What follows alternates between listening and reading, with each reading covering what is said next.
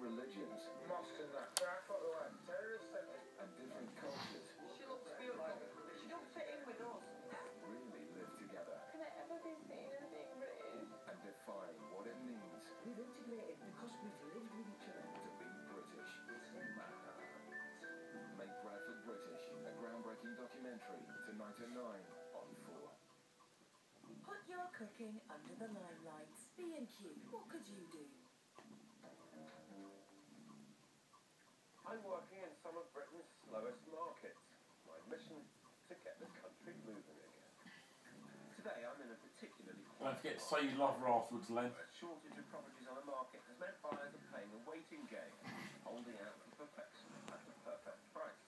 There's not much moving around here bar the transport into London, so I'm going undercover to work as a secret agent, and I'm trying to ship some hard-to-sell homes.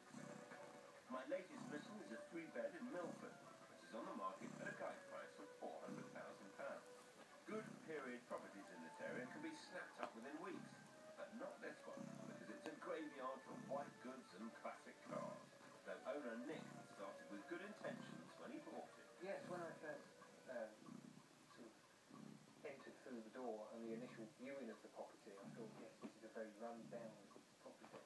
But I felt that it was a challenge at the time. I mean, it was in quite poor condition.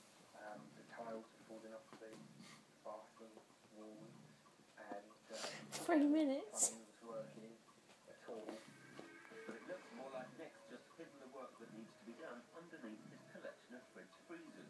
But there's good reason. Nick's a property manager, and his mate Brian reckons he's bringing his work home with him. every house he's ever worked on, the fridge needs replacing, he replaces it, and then he brings the old one back, and sometimes gets that one going, otherwise it goes into the collection.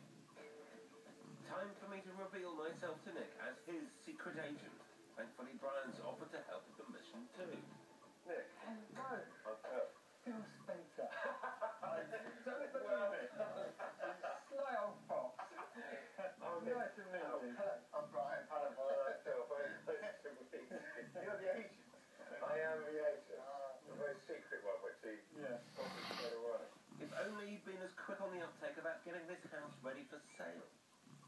I need your help so I can save her.